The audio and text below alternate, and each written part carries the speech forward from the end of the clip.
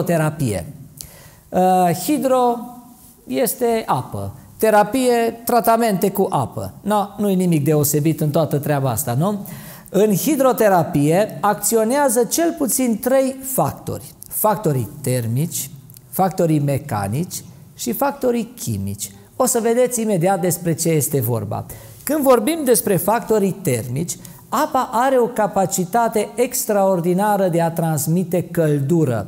Transmite căldură de 30 de ori mai repede decât aerul și are capacitatea să înmagazineze căldură, să adune căldură de 8 ori mai mult decât aerul. Aceasta înseamnă că acum vine primăvara și chiar astăzi a fost o zi superbă de primăvară, nu e așa? Dar mai e zăpadă. E, iarna, când suntem înghețați, bocnă, și venim în casă, în casă e mai bine decât afară, e mai cald. Și dacă o dârdâim așa de frig, după câteva ceasuri, dacă mai punem și șapte pături pe noi, ne simțim mai bine. Dar, un secret, dacă vreau să mă simt mai bine, mai repede, decât într-o cameră încălzită, atunci mă duc la baie, dau drumul la robinetul cu apă caldă, umplu vana, dacă mai am, intru acolo frumos, mă afund în vana aia cu apă caldă și în circa 30 de minute se realizează ceea ce am spus adineauri, adică o să mă încălzesc. Căldura de 30 de ori mai repede uh, pătrunde de la apă spre corpul meu și corpul de asemenea, datorită apei calde, are capacitatea asta ca să înmagazineze căldura și repede mă simt foarte bine și fericit, nu mi mai frig, nu mai dârdui de frig. Ați înțeles cum e asta cu termoconductivitatea și termocapacitatea? Nu are importanță, sunt niște expresii de la fizică, de la termodinamică, dar trecem peste ele. Factorii mecanici. Aici vorbim despre presiunea apei. Și cu cât apa e mai înaltă, cu atât presiunea e mai mare. Cu ce ne ajută să știm treaba asta? Păi dacă intrăm într-un bazin de apă, ă, ce o să constatăm? Că corpul nostru e mai greu sau e mai ușor decât afară? Ce ziceți? E mai ușor. Oare cu cât e mai ușor? Cu mult, cu mult e mai ușor. Cântărim cam cu 90% mai puțin decât uh, pe sol, de exemplu. Dacă punem un cântar în apă, constatăm că o persoană de aproximativ 100 de kilograme în apă cântărește numai 10 kg. Păi de să stăm toată ziua în apă. E, cu ce ne ajută treaba asta? Dacă intrăm în bazin și facem gimnastică, altfel ne mișcăm acolo. Dacă apa e îmbogățită cu sare, cu nămol, atunci presiunea e și mai mare. Ăsta e secretul pentru care oricine, chiar dacă n-a mai notat niciodată în viață, când intră într-un bazin sau într-un lac cu apă sărată, ce constată? Că ține apa la suprafață datorită acestei presiuni, așa numite presiuni hidrostatice. Factorii chimici sunt dați de substanțele care le introducem în apă. Orice baie e bună, ne face bine. Dar dacă acolo mai tăiem uh, uh, niște iarbă, dar iarbă în sensul bun al cuvântului, mă refer acum la plante medicinale, prindem șoareci și le tăiem cozile și punem coada șoarecelui. Prindem calul și tăiem coada și punem coada calului. Prindem pisica și tăiem ghearele și punem gheara mâții adică plante medicinale, facem un ceai concentrat și introducem în apa aia de baie, o, efectul e altul, e relaxant. Sau sunt plante cum e urzica, micoada calului, care stimulează circulația. Apoi sunt plante care vindecă rănile, cum sunt gălbenelele. Și obținem un efect mult mai benefic decât o simplă baie, care și aceea ne face bine. Dar eu astăzi o să vorbesc cel mai mult despre alternanța cald rece. O, asta este o uh, poveste așa de frumoasă, dar atât de utilă, încât pot să vă vorbesc multe, multe ceasuri despre această alternanță. Uh, eu iubesc alternanța pentru că am experiență în privința aceasta și nu experiență de la locul de muncă, de la centru de sănătate unde lucrez, ci experiență de acasă, din familie, am experimentat și toate tratamentele astea știu că sunt bune și benefice. Și de asta vi le prezint, că altfel nu le prezint. N-are niciun rost. Nu iau din cărți ca să le copiez, nu fac copy-paste, ci pur și simplu vă prezint din experiență. Hai să vedem ce face alternanța cal-rece. Aici avem un vas de sânge. și pe aici trec niște nutrienți, niște păpică pe ce, spre celule. Vă mai amintiți că vă spuneam oxigen, apoi păpică însemnând uh, glucide, însemnând proteine, însemnând lipide. E, de acolo, după ce motorașele au fost alimentate, produși și rezultați în urma arderilor, tot, tot prin vase de sânge, trebuie să meargă spre organele excretoare și tot timpul este un dute vino prin aceste vase de sânge. Orice corp, ne spune fizica, că se întâmplă ceva cu el atunci când îl supunem la căldură. Ce se întâmplă cu el? Se, se dilată. Orice corp, însemnând și vasul de sânge, ă, dilatându-se, se numește vasodilatare. Își mărește interiorul, lumenul se numește. Apoi, orice corp, când îl supunem la rece, se, se contractă, își micșorează volumul, Lumenul se micșorează, se produce vasoconstricție. E, aceste, uh, acest uh, vas de sânge este creat din fibre elastice. Cu atât mai mult se dilată și cu atât mai mult se contractă supunându-l la cal și la rece. În felul acesta noi facem un exercițiu fizic vasului. Făcându-i un exercițiu fizic, stimulăm circulația. Stimulăm circulația local, acolo unde tratăm mâini, picioare, uh, șezut, cum o să vedeți, față. Uh, deci, influențând circulația local, acolo unde vom acționa, dar prin niște procese uh, antagonice, consensuale, vom îmbunătăți circulația întregului organism. Cum veți spune? Păi tratez mâna și influențez circulația și la picioare? Păi sigur că da, pentru că tratând degetele, degetele de la mână sunt legate de antebraț, antebrațul e legat de braț, brațul e legat de corp și uite așa influențăm cu ajutorul computerului întregul organism. Dar nu numai circulația sanguină, că și respirația este foarte mult îmbunătățită, adică schimburile de gaze de la nivel pulmonar, apoi sistemul nervos de asemenea, vezi zice, păi o să devenim mai nervoși. Nu trebuie că suntem destul, doar în sens bun al cuvântului influențăm uh, sistemul nervos central și periferic și de asta avem nevoie.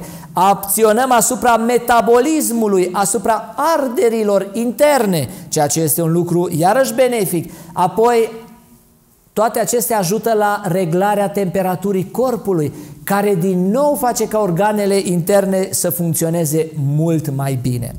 Bazându-ne pe acest principiu al alternanței, o să vă prezint următoarele șapte tratamente. Baia contrastantă de picioare și de mâini. Și voi o să vă prezint alternanța. Dacă înțelegeți primul tratament, foarte bine. Apoi celelalte doar uh, o să amintesc câteva lucruri și caracteristici specifice. Deci vorbim despre baia contrastantă sau alternantă de picioare și de mâini. Orice tratament, chiar dacă este natural, eu v-am mai spus lucrul acesta, nu e bun pentru toate bolile ci e bun pentru anumite boli, pentru anumite afecțiuni. Nu putem să zicem că un tratament e bun pentru orice. Pentru ce e bun, maică? Apoi bun pentru orice. Dacă te doare capul, e bun, dacă te doare mâna, e bun, dacă te doare piciorul, e bun. Nu prea există așa ceva în medicină. Și acum vreau să vă prezint indicațiile acestei băi alternante de picioare și de mâini. Infecții. Face sens ceea ce v-am zis până acum? De ce apare aici această infecție? Pentru că circulația de acolo este deficitară. Și vă amintiți când am vorbit despre diabet, că diabetul duce la neuropatie, după aceea duce la arteriopatie și apare rana și rana e tot mai adâncă și puroiază și nu se mai vindecă. Venim cu aceste tratamente și îmbunătățim circulația locală și îi dăm șanse organismului ca să vindece, să epitelizeze, să închidă rana. Apoi în traumatisme ale mușchilor și ale articulațiilor, aici o paranteză și cred că v-am mai zis-o, cred că acum aveți deja gheață în congelatorul dumneavoastră. Aveți gheață? Aveți. Uh, sau fasole pusă la înghețat, sau mazăre, e bună și aia. Uh, ori de câte ori apare o traumă la piciorul dumneavoastră, la mână, la burtică, mă doare, oriunde, dacă nu am gheață la casa mea, uh, am un minus la vindecarea acelei afecțiuni, mai ales la o întorsă când mi se duce piciorul într-o parte sau când cad cumva alunec și uh, mă lovesc la cot. Imediat trebuie să pun gheață, uh, circa o jumătate oră. Recent a venit un coleg de-al nostru care lucrează la grădină și noaptea a trebuit să meargă să bage pe foc la solarii și vine dimineața cu o gleznă așa de pufoasă. Uh, uite, face, am, am căzut, n-am văzut și mi s-a dus glezna. No, ce de făcut? Păi ce de făcut? Repede, am mers la mașina de gheață, noi avem multă gheață acolo, am luat uh, o, niște bucăți de gheață de acolo, le-am pus într-un prosop, le-am lovit de o masă ca să le facem praf și pulbere, i-am pus încă un prosop pe gleznă și i-am împachetat, i-am făcut un pachet de gheață și l-am pus pe un pat și să stea cu piciorul mai în sus decât corpul. Și a zis, no, aici stai o jumătate oră cu minte, acum nu mai lucri la grădină o jumătate oră. După o jumătate oră, acum ai două ore pauză. Vedeți că ceea ce spun acum nu e valabil numai pentru ele, și pentru dumneavoastră sau pentru cei care ne urmăresc. O jumătate oră țin gheața pe picior sau pe mână unde e problema, două ore pauză. De ce? Pentru că și gheața poate să ardă, să producă arsură. De asta nu țin mai mult. Peste două ore, nu acum ce fac, zice nenea Simion. Acum din nou punem gheață. Azi nu mai lucri la grădină, s-a terminat munca, aia să-ți iei vacanță, să-ți iei concediu încă o jumătate oră de gheață, iar două ore pauză. Până când să fac treaba asta? Până când te culci de seară. Și dacă cumva nu s-o desumflat și la noapte faci treaba asta, faci planton. O jum- două ore dormi, o jumătate ore ești treaz. Două ore dormi, o jumătate ore ești treaz. Primele 24 de ore pune în gheață, dar nu a fost cazul că undeva spre seară Simion al nostru nu mai avea glezna umflată, i s-o detumefiat, zicem noi medical, i s-o desumflat și echimoza albăstreala i-o trecut. Încă nu putea să meargă bine pe gleznă, eu știam ce urmează, zic, vii a doua zi și o să facem aceste tratamente care vi le spun dumneavoastră. Și după aia nu l-am mai văzut pe Simion. Înseamnă că s-o vindecat, s-o dus la lucru, în treaba lui.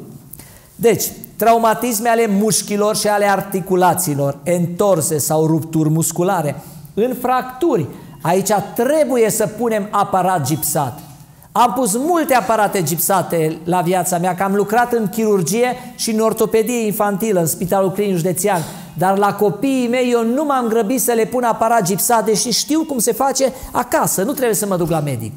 Dar nu m-am grăbit să le pun aparat gipsat, ă, dacă n-a fost vorba de fractură, mă refer la întorsă, la ceea ce am arătat adineauri. Aici, în fractură, e nevoie de aparat gipsat sau e nevoie de, de intervenție chirurgicală. Dar după aceea, recuperarea va fi mult îmbunătățită cu această alternanță de care vă vorbesc. În artrite, deci în boli reumatice, în reumatism, în inflamații, în picioare reci, în edeme, în umflături ale picioarelor, în furnicături, în tot ce înseamnă o circulație rea, proastă, periferică. Acest tratament vă ajută oameni buni. Uh, în viroze respiratorii, în hapciu. Și acum, uh, tare greu e să ne mai procurăm cele necesare, dar vedeți că dacă vă uitați prin cămară sau prin baie, o să găsiți astfel de uh, ustensile. Că avem nevoie pentru mâini de două lighene, mai micuțe și apă caldă și apă rece, iar dacă tratăm picioarele, avem nevoie de două găleți. Ba mai arătat odată tratamentul acesta la cei care ați mai fost. Uh, nu-i greu nimic. Apă caldă, apă rece, da, cu gheață și dacă vreți să nu vă doară capul la propriu, atunci o compresă pe cap vă ajută să nu crească tensiunea, să nu crească pulsul, să nu avem necazuri. Și acum tratamentul. După ce mi-am pregătit apă caldă acolo, intru frumușel cu picioarele în apă caldă și nu sunt de obicei probleme în apă caldă. 3-4 minute e bine. Mai citesc o carte, mai citesc ceva frumos, ă, da? ca să nu pierd timpul degeaba. După 3-4 minute este important ca imediat, fără uh, să mă gândesc că acolo e apă rece, să trec cu picioarele în apă rece. Important lucrul acesta. Destul de repede. Adică mi-am luat picioarele și le-am mutat în celălalt lighean. Pentru cât timp? Deja știți unii. pentru 30 de secunde, pentru o jumătate minut. Nu uitați, 3 minute în apă caldă, iar în apă rece, circa 30 de secunde sau o jumătate minut. Uitați-vă prima dată pe ceas. Apoi mă întorc înapoi în apă caldă. Dacă am un ceai din ceea ce v-am spus eu, coada calului, coada șoricelului, gălbenele, urzică, e și mai bine. Nu uitați că apa aia nu e așa de multă în vasul ăla, în gălețile acelea și tinde să se răcească. Așa că dumneavoastră să aveți un ibric și să mai adăugați apă caldă în acea găleată. M-ați înțeles? ca să nu se răcească, că nu-și mai face așa efectul. Din nou stau cu picioarele 3-4 minute, iarăși mă mut înapoi uh, pentru o jumătate minut și uite așa uh, mă joc de vreo 6-7 ori în apă caldă și în apă rece. Această fetiță care o vedeți în imagine a fost la noi la centru de sănătate cu o gleznă așa de frumoasă, frumoasă într-un anumit sens, dar ea nu putea să încalse, nu putea să meargă, are, avea poliartrită reumatoidă și după aceste, o serie de tratamente de genul acesta, i s-a detumefiat glezna, adică i s-a desumflat și s-a putut încălța să meargă la plimbare prin pădure. Am văzut-o cu ochii mei lucrul acesta. Deci aceste tratamente sunt experimentate, cum v-am spus la început. Nu vă spun nici un tratament care nu a fost experimentat. Întotdeauna terminăm cu apă rece. E, ăsta a fost cel mai tare trata, experiment pe care l-am făcut la Hergelia. Nu a fost în plan să facem experimente, pentru că noi avem zona noastră, boli cardiovasculare, diabet, obezitate, boli de nutriție, boli de ficat, dar omul acesta a venit la noi cu toată pielea de pe picioare jupuită. A fost în război, în uh, Afganistan, al, armata l-a trimis acolo și a stat uh, oare ceva timp și de acolo s-a ales cu un ulcer varicos, urâtă boală. Dar nu i-a găsit nimeni leac. În toată Europa a fost să-și dea de leac. Și uh, armata l-a trimis chiar inclusiv la Hanover, în Germania, cel mai bun uh, spital din Europa. Și toți au zis, n-am ce să-ți fac. Tot o jupui de piele, și de pe unii au putut și au pus și piele artificială, dar nu se prindea nimic. Că dacă locul respectiv îi putred, ce poți să tăpui piele sănătoasă că se putrezește și aia? Omul acesta arăta jale. Ce puteam noi să-i facem acum dacă tot a venit la noi?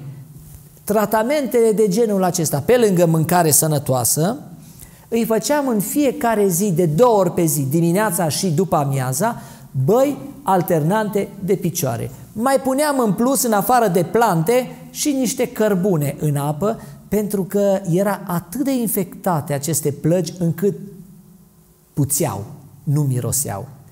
N-am știut ce se va întâmpla. Omul a hotărât să stea o lună de zile la noi. După trei săptămâni, după trei săptămâni, partea de sus a picioarelor care erau umflate, erau umflate așa ca niște berbinți care puneți dumneavoastră brânză, și i-a spus că niciodată nu o să îi se mai desumfle.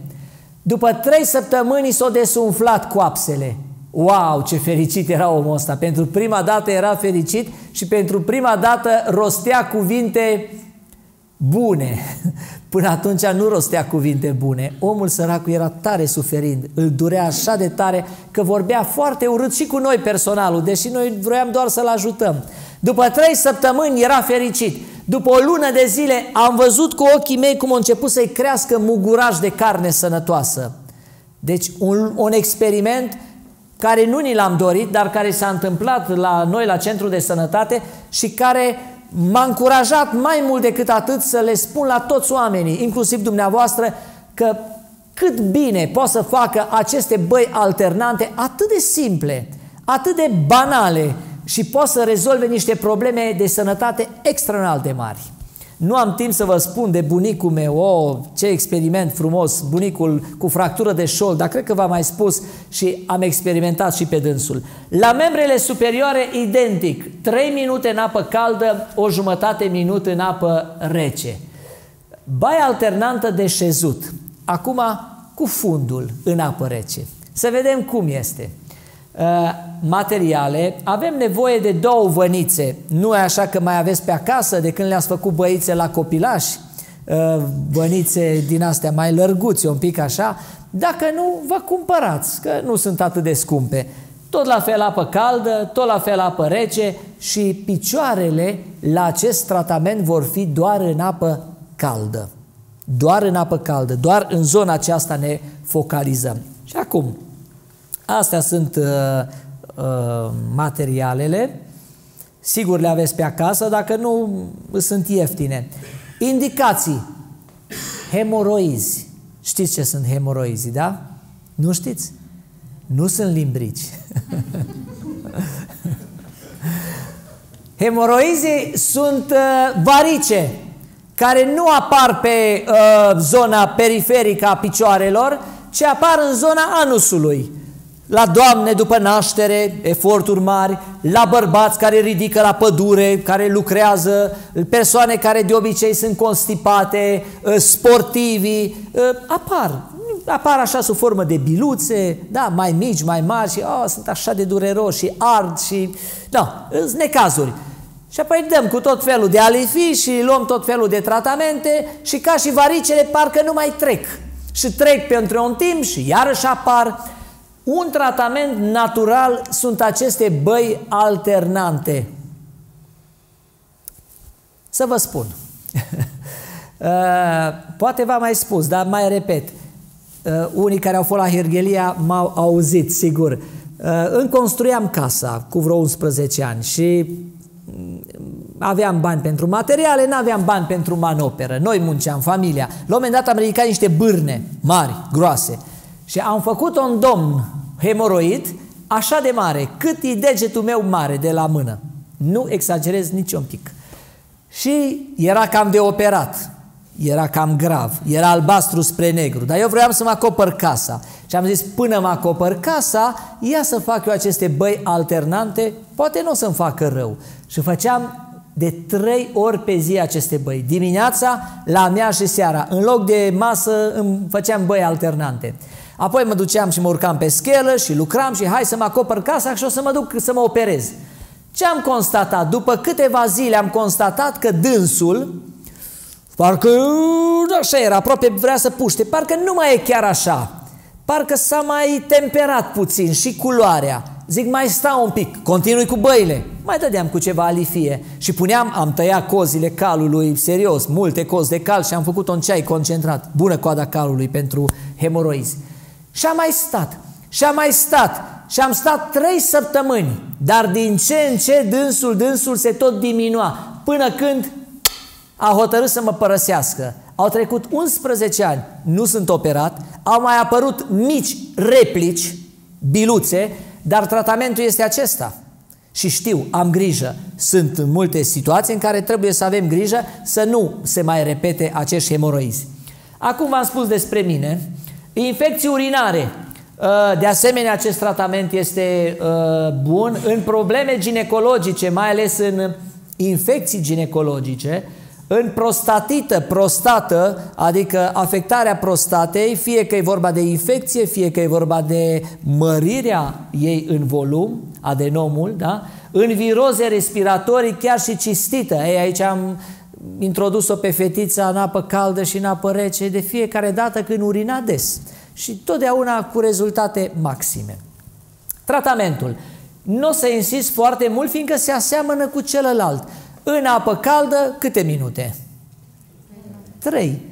Picioarele în apă caldă, fundul în apă caldă. După trei minute e mai interesant un pic, dar nu e chiar așa de virulent, pentru că vom intra cu picioarele în apă caldă și doar cu fundul în apă rece. Deci picioarele rămân în apă caldă. O să simțiți că ah, acum se întâmplă ceva nu se întâmplă chiar mare lucru. E neplăcut. Parcă n-ai vrea să stai acolo, parcă te aruncă apa de jos în sus. Ține-te bine de lighean și nu te lăsa să te arunce apa. Numai pentru o jumătate minut stăm acolo. Și apoi din nou ne întoarcem în apă caldă pentru uh, 3 minute și tot așa, de câte ori? De 6-7 ori. Și terminăm cu apă rece. Să știți că după a doua schimbare nu, e, nu mai e chiar atât de rău. La a treia parcă e și mai bine. La a patra parcă îți dorești. Păi fica noastră care avea vreo 3-4 ani învățaste deja să-ți facă singur aceste tratamente, doar atât mă întreba, tată, mai trebuie să mai stau în, în apă rece. Ă, da, mai trebuie să mai stau în apă caldă, da. Adică singură ieșea din vană, nu mai puneam în ligheane direct în vană, apă caldă și un lighean doar cu apă rece. Și intra cu totul, așa, intra de jos până sus, până sub rebordul costal în apă rece. Stătea acolo și eu număram. Și când terminam de numărat, ne întorceam în apă caldă. Acolo ne jucam cu rățuște, cu ursuleți, cu din chestii. Făceam noi prin baie de să nu intre după noi nimeni, ce era acolo. Dar făceam tratamentul. Și era benefic întotdeauna. Uh, tratamentul acesta, dacă bine vă îmi amintesc, pentru cei care ați fost la hipertensiune arterială, cred că vi l-am mai prezentat, așa este? Bine, să văd dacă vi l-ați făcut vreo unul. Cineva când l-a durut capul și a făcut tratamentul ăsta, nimeni nimica. Nu-i nimic, de asta o trebuie să mă întorc, să vă mai spun încă o dată și de acum sigur o să vă faceți. Data viitoare, când vin, vă întreb și dacă nu vi l-ați făcut, nu vă mai spun nimica. Nu, vă, nu v-a durut capul de atunci. Ați fost perfect sărătoși. Tratamentul ăsta este pentru durere de cap, pentru durere de burtă abdominală și pentru crampe pelvine, adică dismenoree, dureri la ciclu menstrual. Multe lucruri putem să facem când ne doare capul. Fugim la dulapul de medicamente. Eu vă invit să fugiți la baie și să luați un lighean în care să puneți apă caldă și într-un vas mai micuț să puneți apă rece, să puneți din congelator câteva cuburi cu gheață sau păhărele care le-a spus la înghețat și să le puneți acolo și să ă, aveți un prosopel care să-l udați în apă rece. E, dacă mă doare capul, voi pune rece pe cap și picioarele vor fi în apă caldă.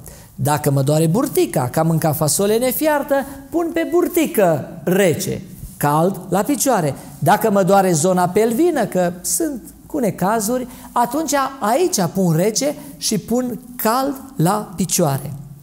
Nu vă dați seama că acest tratament, pe cât de simplu e, într-o jumătate oră vă ia durerea de cap sau vă liniștesc bl, bl, bl, bl, bl, bl, abdomenul care bolborosește sau vă uh, liniștește durerea care o aveți mai jos. Da?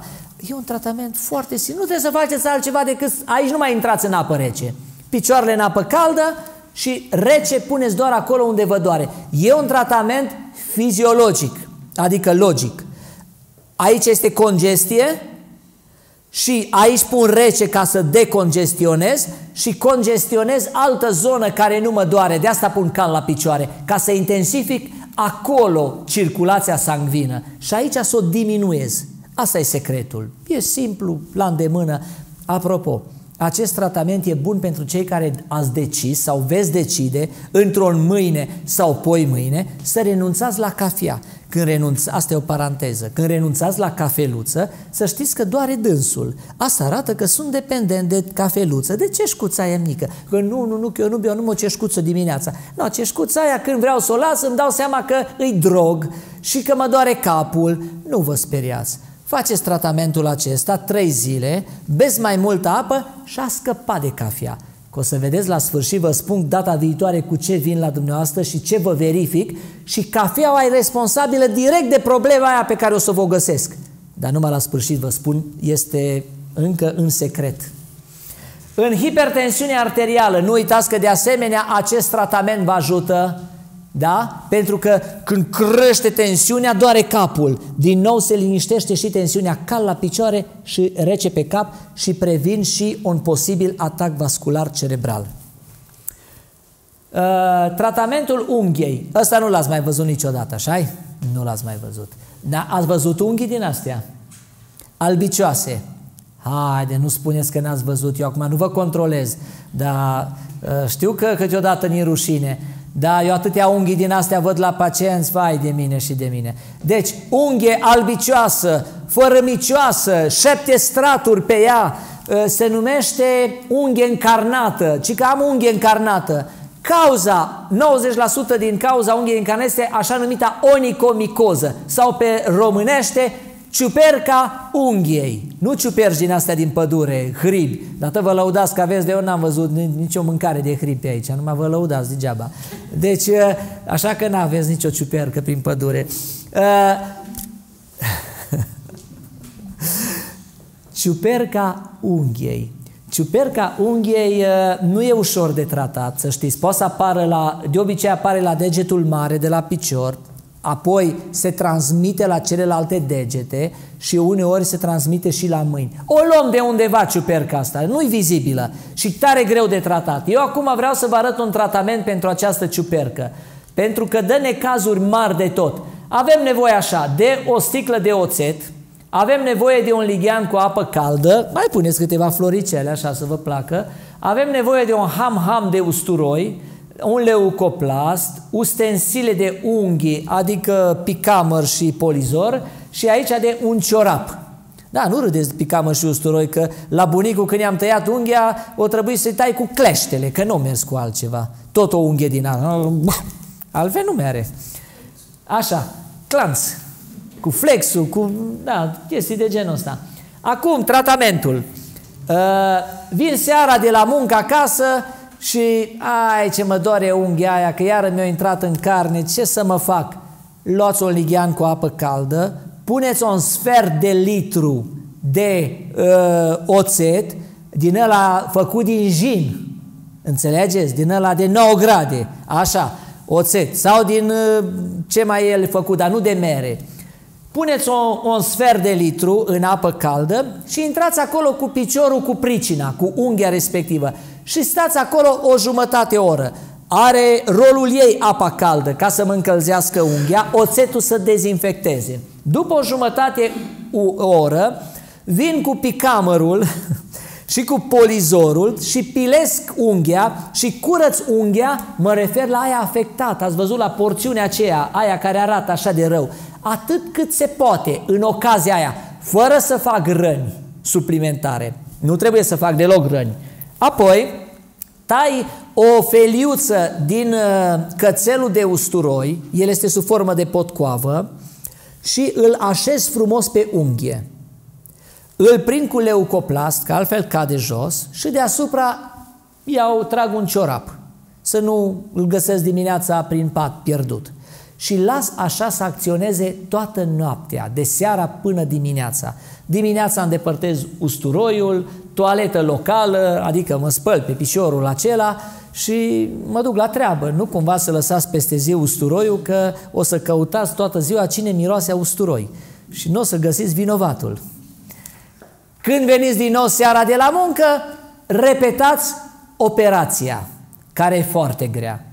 Durează o jumătate oră să stați cu piciorul în apă caldă și oțet. Și apoi să piliți bine unghia și din grosime, nu uitați, și din uh, lungime și puneți apoi usturoi. Fixați cu leucoplast și lăsați toată noaptea. Îi greu? Nu-i greu. O să faceți așa. Nu vă întreb care aveți, dar mă întreb dacă o să faceți. Bine. Tratarea virozelor respiratorii. Zicem noi cadrele medicale, pardon, ne mai uh, tachinăm și noi cu o zicală, ci că o răceală se vindecă în șapte zile cu ajutorul medicamentelor sau într-o săptămână cu pijamale. Vrei să știi cum e cu pijamale? Da? Cum ne tratăm boala cu pijamale? Hai să vedem. Eu vă prezint pijamalele astăzi. Pași în tratarea răcelii. Uh, când aveți primele simptome ale unei răceli, însemnând că curge nasul, strănut, parcă mă doare capul, parcă nu mă mai simt prea bine și mâine știu că o să fiu la pat. Nu așteptați ziua de mâine, ci imediat, de la primele semne ale răcelii, beți apă din abundență. Știi cât apă? Nu 2 litri pe zi. Dacă spun acum și o să vezi că o, nu o să mai uh, fi răcit a doua zi din 10 în 10 minute câte un pahar de apă. Nu toată ziua. Atunci când am primele semne de boală, beau un pahar de apă, dar din ăsta așa sănătos, nu de 100 de mililitri, de 200 de mililitri și pauză 10 minute După 10 minute, încă un pahar de apă, gâl, gâl, gâl, gâl, gâl, iară pauză. De ce fac pauză? Să aibă timp uh, stomacul și apoi rinichii să prelucreze și să-l trimită în circuitul sangvin. Dacă beau direct un litru și jumătate, rinichiul imediat îl prelucrează și îl aruncă afară. Nu, nu poate să ajungă în circuit. Deci din 10 în 10 minute câte un pahar de apă în prima oră. Apoi din oră în oră, hai că nu-i chiar așa de mult, din oră în oră câte un pahar de apă. Aceasta în prima zi când am primele semne de boală. Apoi să mănânc înțelept, așa cum învățați la clubul de sănătate. Când suntem răciți, când vine o viroză, când vine o gripă peste noi, să știți că organismul nu are nevoie de proteine. Acum să mănânc o halcă de carne ca să fugă gripa de la mine. Gripa o să, nu numai că nu o să fugă, dar o să mă învăluiască mai tare. Pentru că organismul meu acum are nevoie de vitamine și de minerale, nu de proteine. El trebuie să lupte cu virusii, nu să lupte cu carnea pe care eu am mâncat-o la ora aceea. M-ați înțeles? Deci să mănânc înțelept, legume, fructe, asta am nevoie când sunt răcit. Zahărul oricând face rău. Mm, ce veste le-am dat la copii. Îți plac uh, ciocolățile? Hai, zic că știu că îți plac și mie îmi place ciocolata, așa câte un pic. Așa. Deci, uh, uitați cât conține. 6 lingurițe de zahăr, o simplu baton, 12 lingurițe de zahăr, un simplu Pepsi. Niciodată să nu mai dați Pepsi la copii, niciodată și nici asta să nu consumați. Uitați o doză de uh, 250 de mililitri cât zahăr conține, altfel nu se poate, altfel dacă l-am bea ar fi jale, atât ar fi de amar că niciodată în viața noastră n-am mai bea așa ceva. 12, nu puneți dumneavoastră 12 linguri de zahăr într-un pahar, ați bea? Nu ca zice că, vai ce rău, că îmi vine să vomit. Dar cola de ce o bem? Că îi pus acolo niște licoare care amăruie și împreună cu zahărul parcă nu-i chiar așa de rău și dă un gust, un anumit gust. Asta e cola doar nimic. Și plus uh, care cafeină, care dă dependență și care bum, bum, bum, bum, bum, bum, bum, bombardează inima și îmi strică oasele, dar ceva despre oase la final vă spun. Uh, apoi trebuie să fac mișcare în aer liber când sunt răcit, nu mult, dar un piculeț, să dorm mai mult decât de obicei, să dau ocazia organismului să se refacă, dar încep să am o problemă, o problemă. Bărbații observă că nu-și mai pot înghiți soțiile și soțiile observă că nu-și mai pot înghiți soții. Adică nu aceasta s-a întâmplat, aceasta este o parabolă, în mod plastic. Simțim că parcă avem o jenă la înghițire, parcă ți s-a pus o nod în gât când te răcești. A simțit treaba asta? Sigur? A, nu numai mie mi se întâmplă. Bine. După aceea se îngroașă amigdalele, se măresc. 3 parcă nu mai poți vorbi, ai răgușit, încep să tușești de vai de mine și de mine, nimeni nu te mai oprește și nimeni nu te mai suportă în jur. Cam astea sunt fazele răcelii, cam așa, e, cam uh, așa se succed. Sau uneori e pe sărite. Ce fac acum? Din nou un tratament verificat, brevetat în familia mea de foarte multe ori. Am avut trei copilași. Și am avut, îi avem, dar nu mai, nu mai sunt mici. La un moment dat erau doi băieți mici, vârstă un an și patru luni diferență. Nu știu cum se întâmpla câteodată, dar parcă amândoi se răceau deodată. Și unul tușea și celălalt tușea. Uh, ne trezea noaptea, soția avea compresă pentru gâtulețul lor. O să vă explic din ce consta această compresă. Câteva straturi de tifon. De tifon e cel mai bine.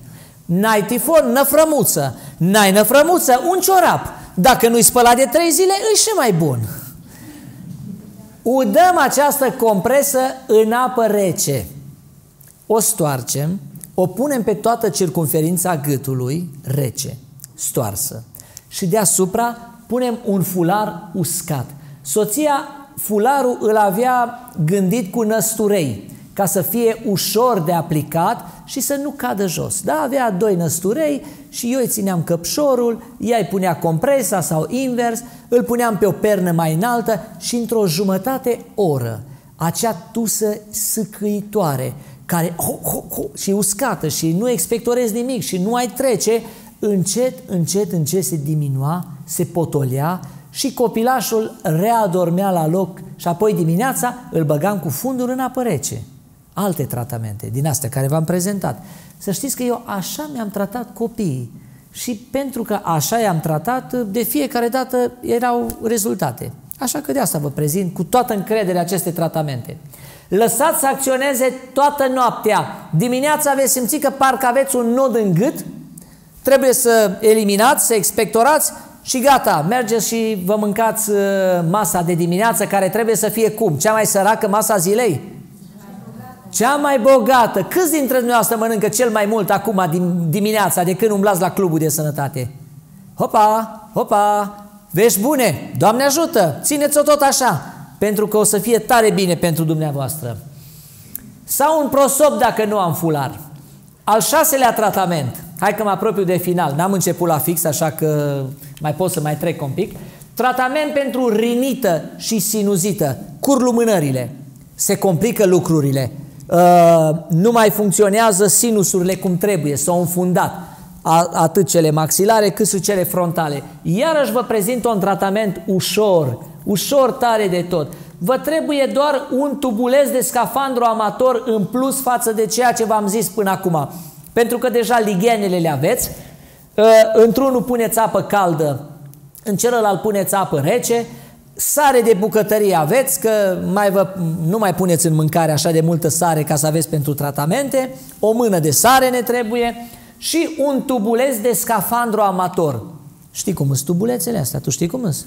Da, din alea așa cu ochelari, da? Ochelarii dăm la o parte, rămâne doar tubulețul, îl introducem în gură și intrăm cu năsucul și cu fața întreagă în apă caldă. Pentru câte minute? Hai că deja știm, pentru 3 minute. Respirăm prin tubuleț. După 3 minute, rup repede în apă, în apă uh, rece pentru 30 de secunde. Din nou în apă caldă, din nou în apă rece și treaba asta de câte ori o facem? De 6-7 ori. Și terminăm cu apă cu apă rece. Deja ați învățat lecția. Era ocazie, știi, vă spun și dumneavoastră, când trebuia să vorbesc în fața oamenilor, cum sunteți dumneavoastră, eram la uh, cercul militar din Târgu Mureș și erau multe cadre adunate acolo, erau uh, superiori din armată și inclusiv comandantul unității și mă aștepta la ora 6 să prezint un seminar de sănătate, ai grijă de inima ta. Ajută-o dacă vrei să te mai ajute. Iar eu dimineața m-am trezit răcit bocnă. Curgeau lumânările de nu puteam să mi le mai opresc. Cum să mă duc eu după masă? Cum să sune la oamenii ăștia care sunt tuc, tuc, tuc, la secundă, sunt uh, exact, să nu mă duc acolo? Și ce credeți că am făcut? Tratamentul acesta. Mi-am pus-o în tub în gură și de trei ori în ziua aceea mi-am făcut acest tratament. Mi-am făcut dimineața pe la vreo 8-9, apoi mi-am făcut spre prânz și mi-am făcut pe la vreo 4 după masă. Am constatat că încet, încet lumânările s-au oprit, m-am putut să mă duc la oameni, le-am ținut seminarul, le-am dus și materiale, acolo cărți ca să aibă cu ce să continue, un stil de viață sănătos. Și am fost tare bucuros că am putut să desfășurăm acest program. Uh, nu am fost 100% refăcut, dar cel puțin am putut să stau în fața oamenilor și să țin acest seminar. Tratamentul acesta, băi alternante de față. Așa că și acesta l-am experimentat. Puteți să puneți și un ceai acolo în apă caldă. Nu uitați de fiecare dată când vă întoarceți din apa rece, în apă caldă, să mai adăugați puțin apă caldă, fiindcă se răcește. Sigur că trebuie să mai luați de acolo, să turnați, să aruncați și puneți alta. E important. Bun. Uh, și încă ceva, e important și lucrul acesta, după ce ieșiți din apă rece, uh, eliberați-vă fosele nazale, adică vă suflați nasul pe românește, în năfrămuță, în hârtie igienică, în șervețele, în ce vreți dumneavoastră și după aceea intrați în apă caldă, da? Deci după ciclul ăsta cald 3 minute, o jumătate minut rece, însuflu nasul și iarăși intru ca să eliberez Sinusurile, atât cât curge. O să vedeți că într-o problemă acută, cum a fost a mea, în rinoree, imediat apare rezultatul, în sinuzită trebuie să vă faceți vreo 10 tratamente, adică vreo 10 zile consecutiv. Și dacă acolo nu-i beton, nu-i betonat, atunci o să-și dea drumul și o să scăpați de sinuzită, fără operație. Nu e frumos? Un tratament simplu, natural, la îndemână, nu vă doare nimica, un pic de disconfort că stau o jumătate minut în apă rece. Ultimul tratament, al șaptelea, dușul alternant. Indicații. Guturai, asta e o, o răceală mai ușoară, gripă, sperăm să scăpăm de gripă, și renunțare la droguri, tutun, cafea, o alcool, sau vreau să-mi întăresc imunitatea. Cred că v-am mai zis ceea ce vă spun acum. Uh, de fiecare dată v-am încurajat, atât cât am putut, ca atunci când terminați baia sau dușul de curățire, cu ce apă să terminați? Să am curajul să vă întreb, câți dintre dumneavoastră terminați cu apă rece? Așa. Știți cum s-au ridicat mâinile de data asta? Degețele. E bine, e un început bun. Dacă vreți să vă răciți din an în, nu din an, din Paști în Crăciun, mai bine zis, că e bine, de două ori pe an să te răcești, e chiar bine pentru organism, se mai fortifică puțin uh, imunitatea. Dacă vreți să vă răciți rar, de fiecare dată când vă faceți dușul de curățire, dați robinetul acela de la cal spre rece, dați-l prima dată mai încet, mai, mai călâie, mai molâie, mai, până când ajungeți la apă rece. Nu ieșiți de acolo, vă rog mult de tot, până nu terminați cu apă rece. Pentru că închideți sporii, închideți geamurile și închideți ușile și nu intră virusii și nu iese căldura afară care ați înmagazinat-o în corpul dumneavoastră. Dacă nu faceți treaba aceasta, aveți toate șansele să vă răciți. Dacă faceți treaba aceasta, o să simțiți o căldură permanentă peste zi, ca și cum ați fi înveliți cu o plăpumioară. Credeți-mă, e un secret atât de mic, eu le-am făcut copiilor și ei trebuie să învețe. Ați învățat? Ați auzit ce am zis? M-ați auzit? Cum terminăm de acum baia? Cu ce apă?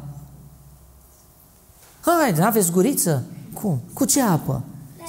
Rece. Rece, gata, dacă ei au zis că e rece, înseamnă că e lege de acum încolo. Cu apă rece terminăm. Uh, nu e chiar așa de plăcut. De când i-am adus din maternitate, le-am făcut aceste băițe. Și nu s-a întâmplat nimic cu ei, nimic rău, decât bine. Așa că noi de ce să nu facem? Iar dacă ne-am obișnuit cu astfel de băi, când avem problemele de care am discutat acum, guturai, gripă, renunțare la tutun, cafea, alcool, întărirea imunității, începem cu duș fierbinte pentru un minut și apoi brusc schimbăm la apă rece pentru 30 de secunde. Un minut apă caldă, o jumătate minut apă rece. Haideți că nu este chiar atât de greu. Uh, de 6-7 uh, ori și veți vedea dumneavoastră ce rezultate frumoase o să aveți.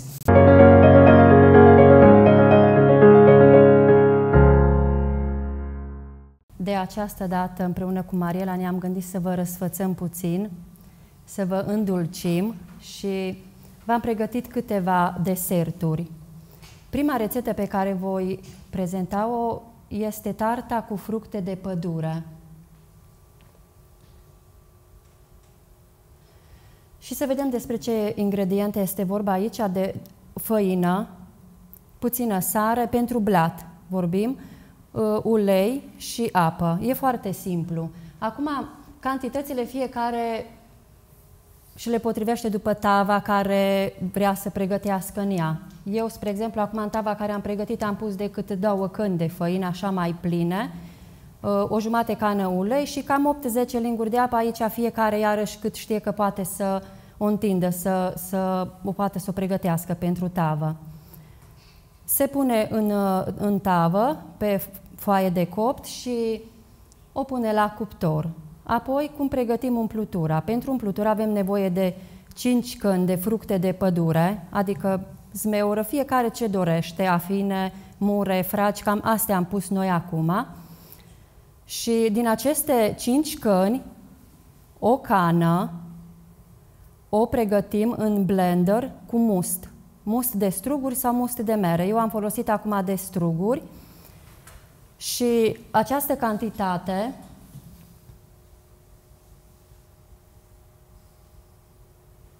o punem în, într-o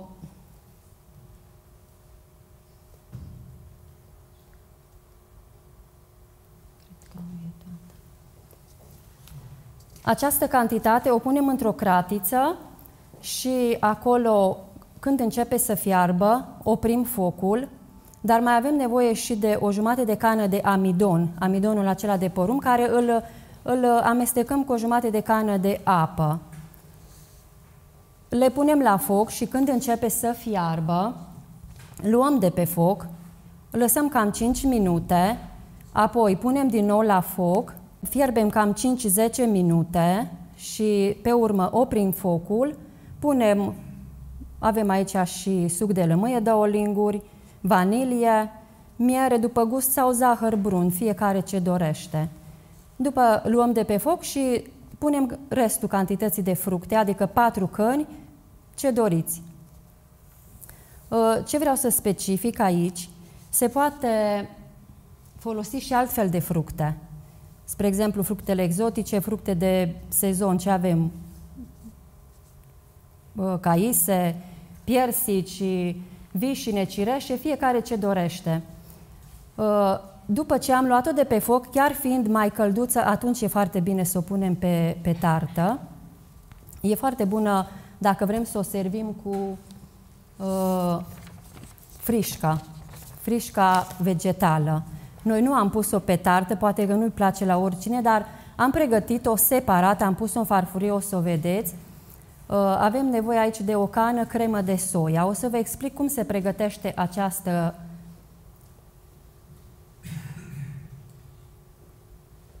această cremă de soia. Nu mă descurc aici deloc. Uh, la o cană de apă punem o jumătate de cană de făină de soia, puțină sare, o fierbem pe foc până devine o cremă, apoi o lăsăm să se răcească și adăugăm 4 linguri de miere, 4 linguri de apă, 2 linguri vanilie, o cană ulei, puțină sare, le punem în blender, le blendăm, uh, cu excepția uleiului, care uleiul se pune în formă de ploaie în timpul procesului, cât, uh, cât e la viteza cea mai mare și apoi când punem uleiul, viteza mai mică și se pune la frigider. O altă rețetă care v-am pregătit-o pentru această seară este ciocolata ro vegană cu cocos sau fără cocos, fiecare cum dorește. Nu avem cantități. Aici fiecare uh, ingredientele și le aplică după cum dorește, după gustul fiecăruia dar totuși avem nevoie de unt de cacao presat la rece, e mai bun decât uleiul de cocos, carobu sau pudra de roșcove care este înlocuitorul la cacao, agave este un îndolcitor, puțină sare, fulgi de cocos după dorința fiecăruia. Noi acum am pus și câteva picături din ulei esențial de mentă. La fel și acestea se... Untul de, ca, de cacao se topește, se adaugă îndulcitorul, ă, cacaoa sau pudra de roșcove, sarea și se omogenizează, iar la final fulgi de cocos pentru cine vrea se pun în formă de silicon și se pun la rece. O altă rețetă, baton granola sau energie la pachet. Acum o să vedem cum ajungem fiecare acasă după atâta energie. Avem nevoie de fulgi de ovăs, migdale, cocos, curmale, stafide, fiecare cât dorește să fie de dulce, îndulcitor din nou, siropul de arțar, agave sau orice dorește fiecare, semințe din dovleac, de cânepă. Prima dată, curmalele cu fulci de cocos și ovăsul se introduc în robot, se mărunțesc până devin o pastă lipicioasă. Separat se mărunțesc migdalele în bucăți mici și se pune compoziția le adăugăm totuși în, în compoziția de la pasul 1, în cocos și în uh, ovăs, și semințele de dovleac și câne, pastafide, îndulcitorul și le amestecăm pe toate. Apoi, într-o tavă uh, cu hârtie de copt, tapetăm foarte bine, le apăsăm, le, le aranjăm bine de tot, cu degetele și se introduce tava cam 30 de minute, o oră, fiecare la congelator, să se întărească, să o putem să tăiem bucăți fiecare cum dorește.